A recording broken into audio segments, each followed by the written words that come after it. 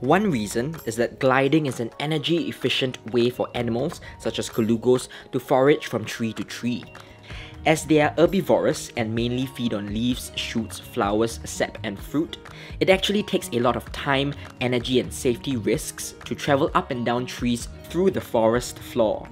So why not just stretch and take a chill, air-powered ride instead, right?